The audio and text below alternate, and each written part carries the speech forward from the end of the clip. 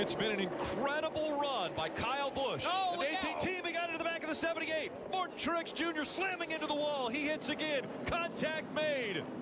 Kyle Busch got to the back of the 78. The 78 spins and brings out the caution once again. Also involved the 7 of J.J. Yeley.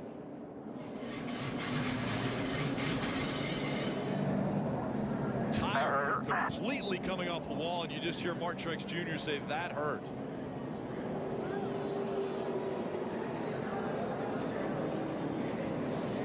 Into the truck.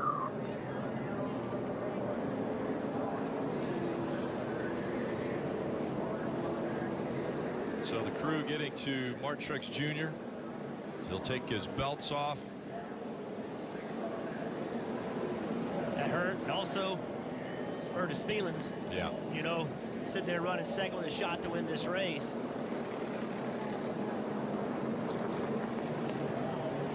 Obviously frustrated.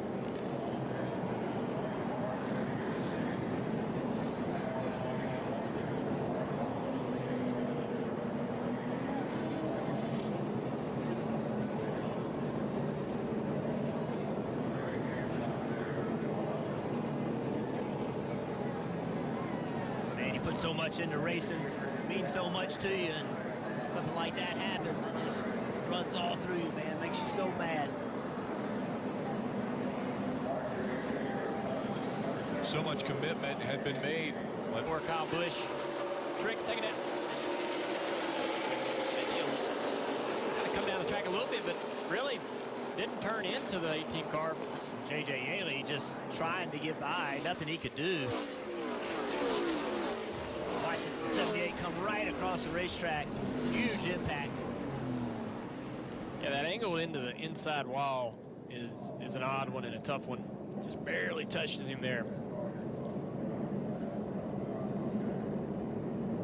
Yeah, Martin's not going to be happy with that. I don't think Kyle did that on purpose by any means, but certainly coming off turn four and thinking the 78 was going to leave, go a little higher up the Inside, racetrack. inside quarter. Hang on to it, hang on to it, hang on to it. Hang on, hang on, hang on. Just hard wrecks, you know. The, even at short tracks going 100, 115 miles an hour, those are hard, hard shots.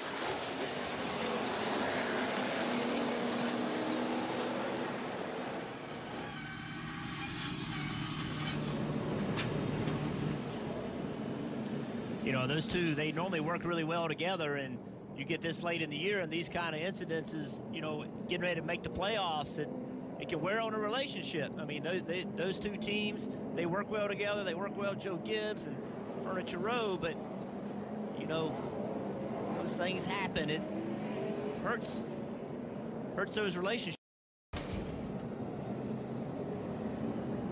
that's Martin showing his frustration. Hardy. What did you feel there before that wreck? I just got hit in the left rear. Pretty simple. I mean, uh, it's a shame. We had a good night going.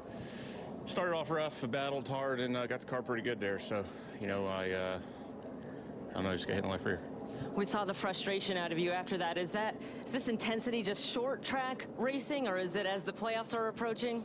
Ah, it's just Bristol. You know, it's uh, trying to get that first short track win. You know, this place has been so hard on us. I mean, I can't even explain it to you how good we've run here in the past three, four years, and crap like this every single time. It's like it's one thing after another. So, sucks that it happened, but uh, you know, at the end of the day, it's racing to Bristol. I feel like I probably should have took the lead there. I probably should have bumped 14 out of the way just to get the lead, and I wouldn't have been in that position. So. Uh, Sometimes you're the nice guy and uh, you get knocked out of the way. So we'll just have to race him a little harder next time. Thanks, Martin. yeah I like that attitude. I, it's it's Bristol last year. That's why we love Bristol is because of drama like this. Might not like what happened. You may want to blame Kyle Busch for that. Hate to see Martin get taken out of the race, but short track racing creates all this drama.